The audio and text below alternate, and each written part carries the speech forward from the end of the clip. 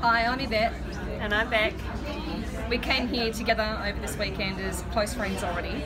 And for myself, one of the things it's actually done is it's brought us even closer. We have a more deeper understanding of each other. What about you, Dexter? Definitely. I've enjoyed the exercises and the discussions we've had over what we did this weekend and what we've learned about each other. Yep. Baby, love you even more.